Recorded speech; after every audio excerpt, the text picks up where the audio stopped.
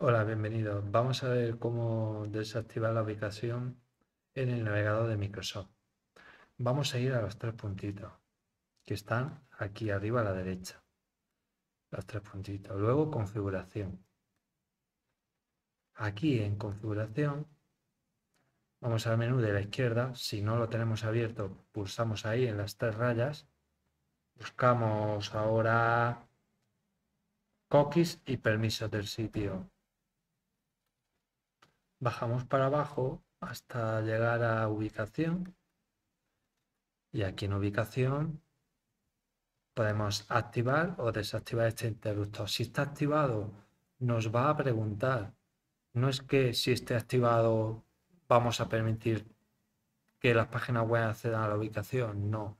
Si está activado lo que es que nos va a preguntar si queremos activar la ubicación para ese sitio web.